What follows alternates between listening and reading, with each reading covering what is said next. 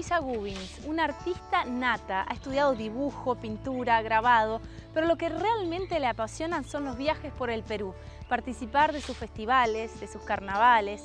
Y fue justamente que yendo a uno de estos viajes en Ayacucho, donde sufre un accidente, el cual la deja en coma. Como ella misma nos cuenta, ha vuelto a nacer. Veamos su historia.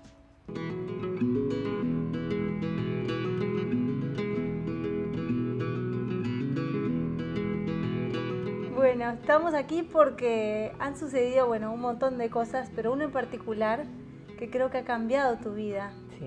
Te ha cambiado a ti también. Me imagino que ha cambiado, te ha dado vuelta Sí. por completo. ¿Tuviste un accidente ya hace unos 12 años? Sí, más o menos unos 12 años, en Ayacucho. Por eso yo digo que soy ayacuchana, de segundo nacimiento.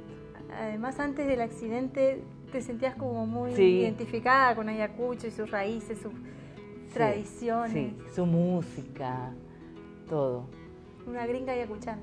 Sí, así me decían, la gringa, bailando, porque bailaba en el carnaval ayacuchano.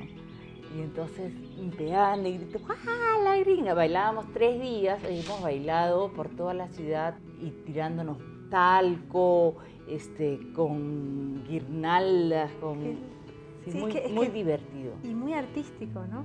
Creo Sí. que también eso, esa parte de Ayacucho Mm. te debe gustar. Sí, claro. Que tú eres una artista nata. O sea que el accidente fue volviendo a Ayacucho. No volviendo, estábamos yendo a Ayacucho. Ah, Fue a las 10 de la mañana más o menos. Estábamos a dos horas de Ayacucho.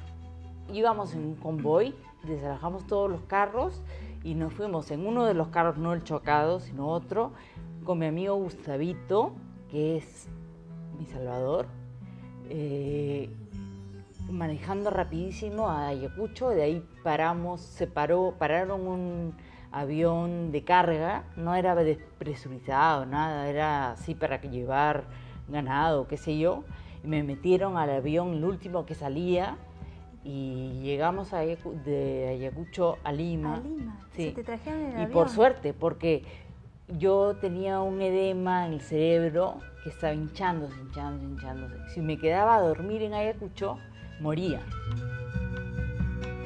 O sea, cuando te traen a Lima en el avión y todo esto, tú ahí ya estabas. Ya estaba ya regresionada, ¿no? Ya o sea, ya estaba. estaba en coma. Todo eso te lo han contado después. Claro, me lo han contado. Todas las cosas muy graciosas, porque yo estaba en esta clínica y, por ejemplo, me decían la sueca, uno de los doctores, porque me calateaba y me sacaba toda la ropa y entonces este, pues, creían que era una loca, pues yo estaba en cuidados intensivos y, y haciendo un escándalo, eh, estaba, yo estaba hemipléjica y con medio cuerpo me levantaba, movía, este, pateaba, estaba pues con esta cosa, con, también con movimientos involuntarios, ¿no? Pero esto, esto tampoco es que tienes... No, yo no me acuerdo O sea, nada. te no, yo cuentan. no me acuerdo nada. Todo esto me lo cuentan.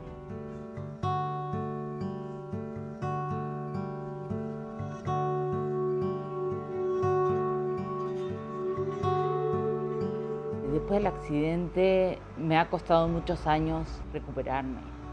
Entonces no estaba consciente como quien se levanta y ya Mm. salí del coma, no. Eh, Son años que vas recuperando, aprendí nuevamente a caminar, a comer, a hablar, a retener las heces, a todo. Estuviste aproximadamente un mes en Es coma profundo. Profundo, sí, y, pero semicoma, todo, son como dos meses y medio. Del coma, ¿algún recuerdo, alguna sensación, algo te ha quedado? Nada, No. nada.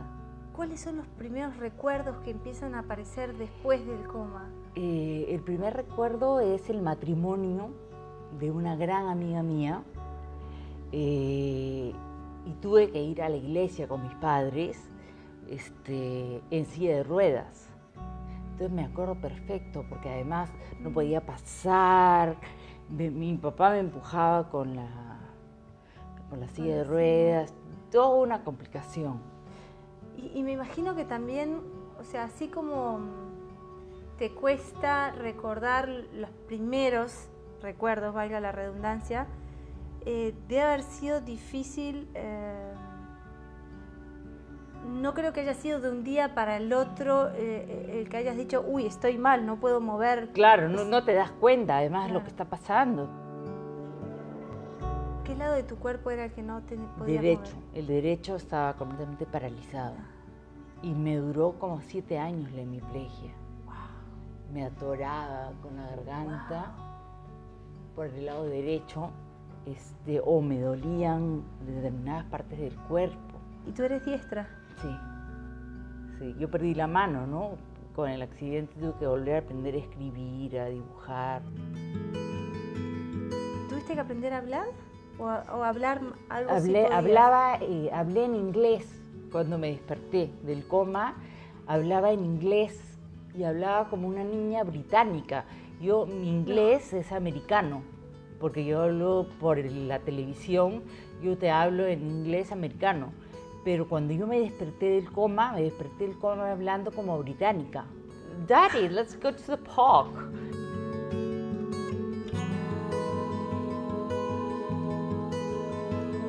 Yo estuve en Londres cuando tenía cinco años más o menos. Estuvimos ahí viviendo porque mi padre tuvo que ir a trabajar a Londres.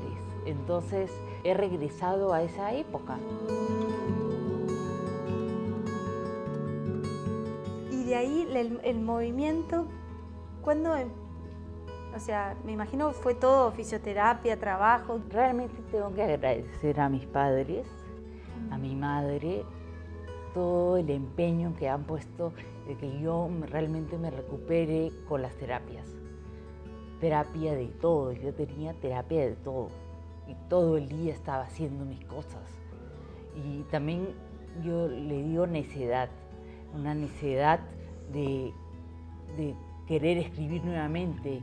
Entonces le decía a mi mamá que por favor me comprara un cuaderno y volvía a escribir todas las recetas de la cocina y, con esa manera pude recuperar mi escritura pero porque yo soy un poco necia, ¿no? no me iba a quedar así de ninguna manera. Tienes que aprender a, gatear, aprender a utilizar el andador, y, porque al principio yo no, no caminaba sola, ¿no? entonces iba con el andador como los viejitos, iba con ese andador, dábamos vueltas al parque con mi madre, y este, poco a poco. Y, tenía esta terapeuta que, me tuvo que enseñar a gatear y, a, cómo pararme.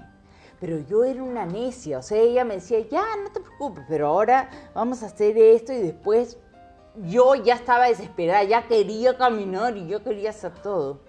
Pero qué fuerte, qué fortaleza. Porque quizás otros, si no tienes esa parte necia, ay, dice, no, qué flojera, no sé, o mm. llora, se deprime. Mm. Que me imagino habrán, habrán claro, momentos, hay momentos muy difíciles, ¿no? Mm. Pero en mí ha primado la, esa necesidad, sí, esa necesidad de yo salgo de esta como sea.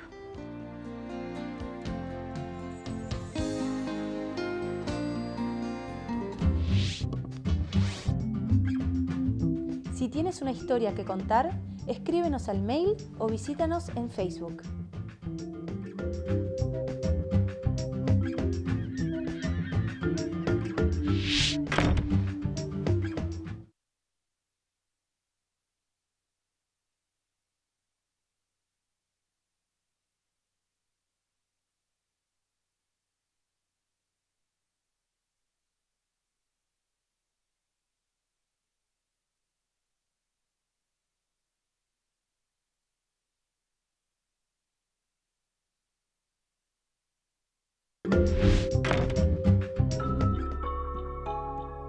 Después del accidente me ha costado muchos años eh, recuperarme. Pero además tu vida era la pintura. O sea, tu vida era tu mano derecha y la perdiste. Claro, la perdí, todo lo perdí. Pero todo se recupera, es increíble porque ese accidente te hace ver que todo es recuperable con, con, con mucho trabajo, por supuesto, ¿no? O sea, en ningún momento se te cruzó por la cabeza que no ibas a volver a ah, escribir o a pintar o a caminar? Sí, sí? te da miedo, o sea, te da miedo, ¿no? O sea, además son años de recuperación de muchas cosas, ¿no? La, hemiplegia yo he tenido siete años, me atoraba. Yo cuando me fui a estudiar a Barcelona eh, tenía un montón de problemas. ¿Y cómo así después del accidente? Bueno, ya cuando estabas mejor, ¿cuántos años después del accidente decides irte a Barcelona? Dos años. O sea que muy reciente. Sí. Y eso fue otro favor que me hizo mi madre, que claro, fue terrible para mí, pero yo creo que esa ha sido la respuesta a, todo lo que yo he tenido que avanzar, porque tenía que adaptarme y, funcionar y utilizar mi metro y utilizar mis buses y, hacía unos planos. Eh, yo tenía que ir a un sitio, ¿no? Entonces tenía clases de francés entonces cogía papelitos y escribía para ir a la clase de francés, tomar el bus tal, en tal sitio, y en el lado, de la parte de atrás del papel ponía regreso. Entonces, para regresar de la clase de francés, paro el bus y me bajo en la estación eh, Cataluña y no sé qué, y, y estos yo los doblaba, me los guardaba en el bolsillo y, entonces llegaba a mi casa y los guardaba en un clip que tenía. Y todo así. Pero esto era por un tema de que no tenías la, memoria inmediata, que perdías la memoria o no te podías ubicar en el espacio. No, la memoria. La memoria inmediata la he... Esa es una de mis partes más afectadas, mm. digamos. La memoria inmediata ese es mi problema hasta ahora. Muy duro, pero conocí gente lindísima. Mm. Y yo conocí, por ejemplo, este amigo que se llama Manuel. Y Manuel es el, hombre que vino a arreglar mi, lavadora de ropa. Eh, llegó alguien a arreglar mi lavadora y, estaba silbando y me vio trabajando y me preguntó, porque él, era, él es también escultor. Es el que me regala un water y con un candado enorme, con una frase que lo que me quiere decir es, hay momentos horribles y hay situaciones terribles, pero tenemos que sacar el lado positivo de ello. Yo tengo este water, lo tengo acá. Además es lo primero que uno ve cuando llega a tu casa. Sí. Y por ejemplo, tu habilidad para pintar lo que habías estudiado en cuanto a pintura y escultura antes del accidente, ¿Eso volvió? Volvió, volvió. Pero también porque yo insistí, ¿no? O sea, por ejemplo, hay un, hay un cuadro que es un ramo de flores. Cuando estudias en la universidad te hacen, te hacen hacer un ramo de flores. Pero después del accidente yo quise volver a hacer un ramo de flores.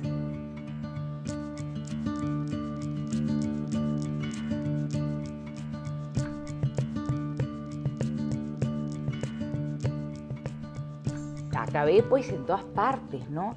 Y había un doctor que me ponía más o menos 60 inyecciones en la pierna derecha.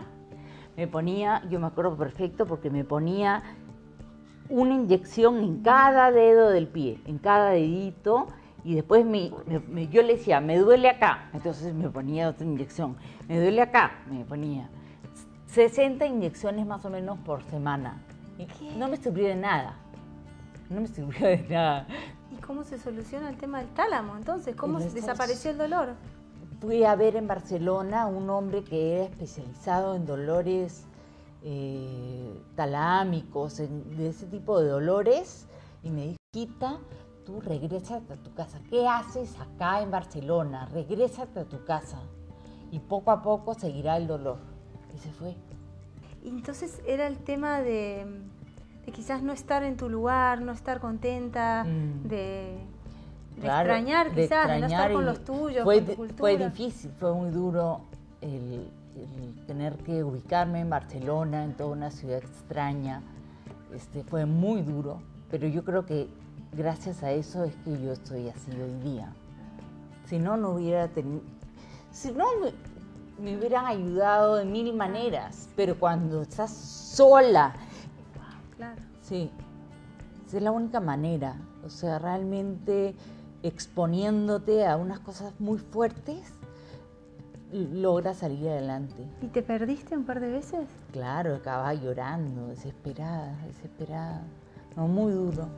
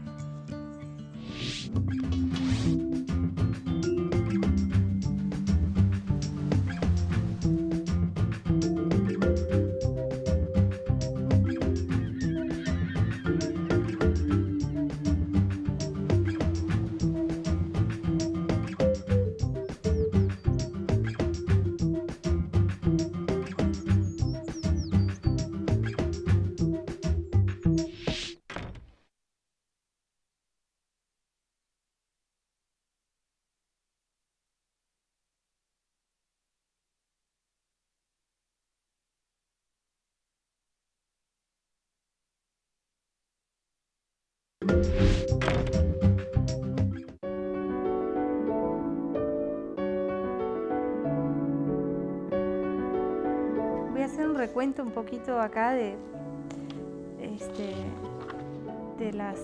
Después de volver de España, has trabajado muchísimo, no solo en escultura, en pintura, en la realización de muebles, sino también en la realización de vestuario y escenografías. Has trabajado en El beso de la mujer araña, una gran comedia romana, El jardín secreto, El teniente De Inishmore. de Inishmore, o sea, cosas además nuevas para ti Mm. antes, ¿no? Mm. Te has lanzado y, y- y eso es lo que me parece totalmente admirable de ti.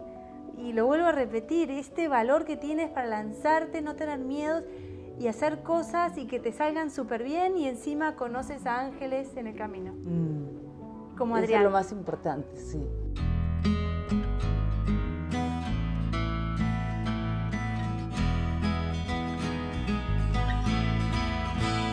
Le voy a contar un poquito a la gente, Adrián, yo lo entrevisté, una de mis primeras entrevistas para Cuídate Mucho.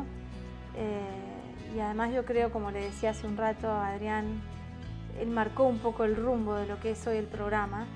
Eh, Adrián fue atropellado cuando tenía unos 24, 23 años y también, al igual que, que Luisa, tuvo que aprender todo de vuelta. Adrián estuvo en coma y hoy Adrián es media naranja. Y media naranja.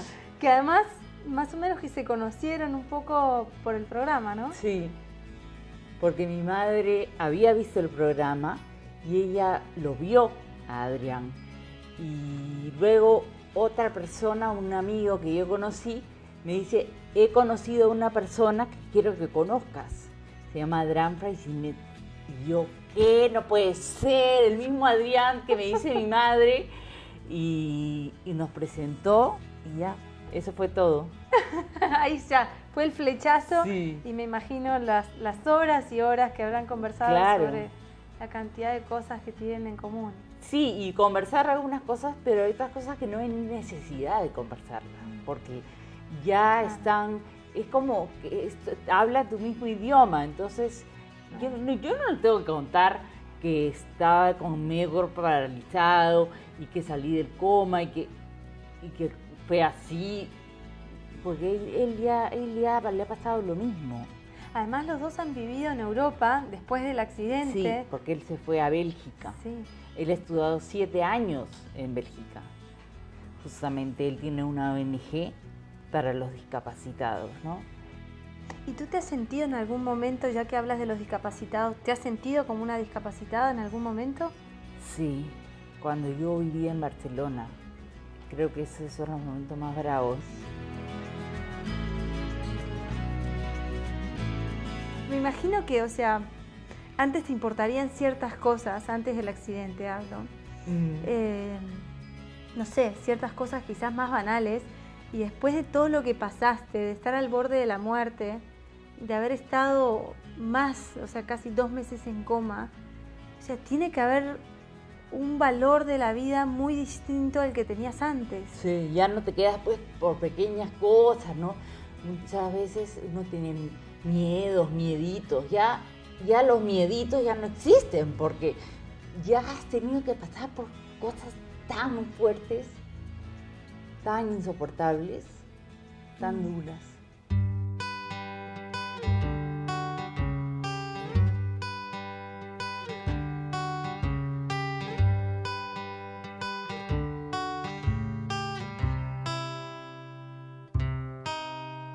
Y ahora en adelante, ¿qué, qué se viene? ¿Cómo ves tu Eh, vida? pintando, pintando y haciendo mi cerámica.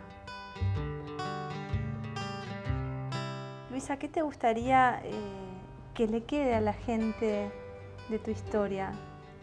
Es difícil, ¿no? Porque yo pienso que para aprender, uno, o sea, si uno quiere saber cuál es la, el método, no hay método.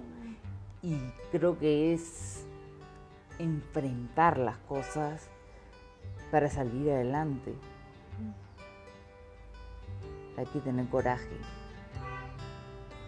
Y, y si uno no tiene, ¿de dónde se saca el coraje? No sé, no sé.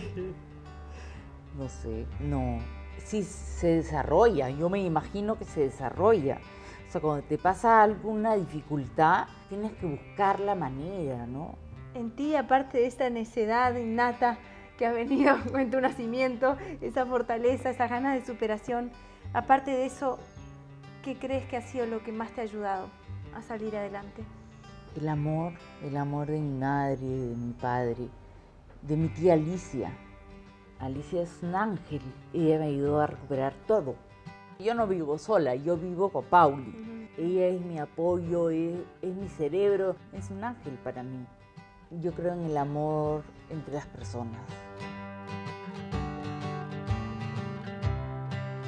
Bueno, Luisa, gracias, gracias, mil gracias por haber abierto tu corazón y contarnos toda tu historia. Y bueno, seguro voy a escuchar hablar mucho de ti, ya sea en teatro o en exposiciones.